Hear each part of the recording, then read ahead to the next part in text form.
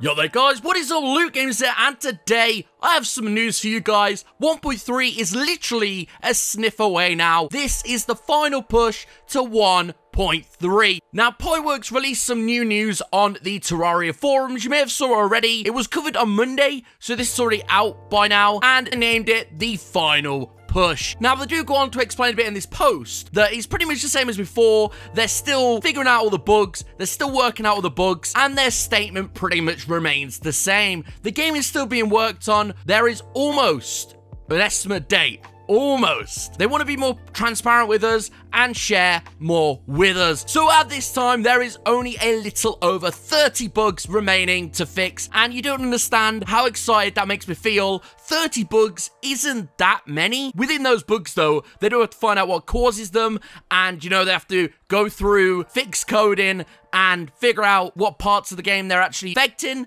So, once they've done that, they will be able to optimize the game better. The issues that they're actually tackling at the minute are remaining piece of the optimization, online gameplay, multiplayer, all that sort of stuff. There is localization bugs, which I assume, again, is probably split screen and uh, local things, maybe opening inventories, trashing things. We don't know. It could be anything like that. A few stability slash functionality bugs. That could be anything from a tree being in a building, a boss not working as it should do, or things like that, and things what might cause glitches later on in the game, and there is just general feedback going around with Relogic and 505 Games. They go on to say that it isn't a simple port, but it's a complete rewrite of the future Terraria. We'll be getting all the new updates faster, we'll be able to get all the current updates a lot faster now, and Pipeworks really wanted to take this in and make it the best they could. So I really appreciate the work they've done and everything they've been working on this. In the background, I do have some 1.3 gameplay for treasure bags. As you see in the background, it's working really well. I think the weapons are working quite fine. The game is almost there.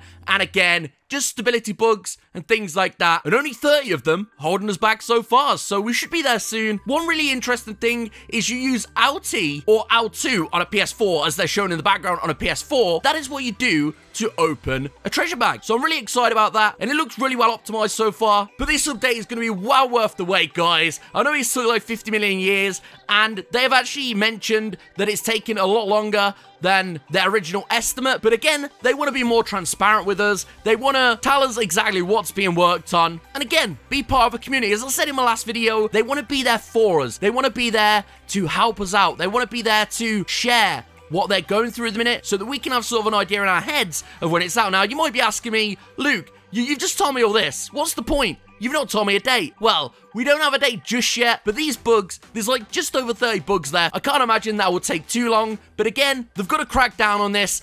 It's all been rewritten, as I say, to work with future updates and potentially even cross-platform. Now that is pretty much it for the 1.3 update. That is everything we know. Chippy Gaming did cover this a few days ago as well, so if you want to go check his out, his explanation, go over there. He explains things really well, so go drop him a sub. Now, one other thing that I did really want to show you guys is that Xbox 360, PS3, PS Vita, and Wii U will no longer receive updates. I will leave this page in the description. As I said in my previous video, these consoles are not getting any more updates. Same with 3DS as well. 3DS is on there, but it's actually regarding the Wii U and 3DS together. And that's for people who keep constantly asking me, is it coming out on 360? Is it coming out on PS3? Is it coming out on Wii U? Here we go. Here is the definitive list. What is not coming out for no PS Vita, no PS3, no Xbox 360, no Wii U, and of course, no 3DS. Now, the last thing I want to touch on is mobile and Nintendo Switch. Pipeworks have already said, and I've mentioned this in previous videos, that the mobile edition and the Nintendo Switch edition will be out after consoles. Now, these are currently in the works,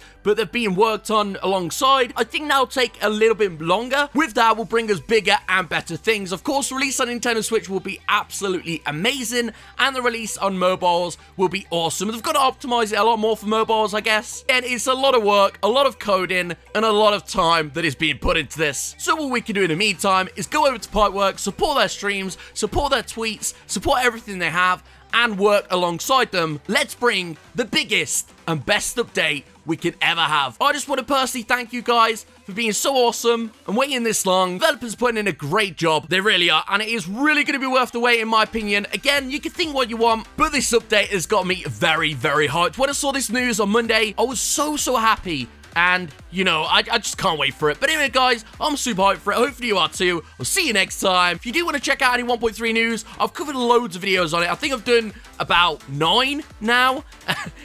it's getting it's getting to that point where I've done so many videos, but this is new news. This is fresh news, and hopefully it's brought a bit of hope into the game for you guys. But guys, I'll see you next time. Please, remember subscribe, stay frosty, and peace.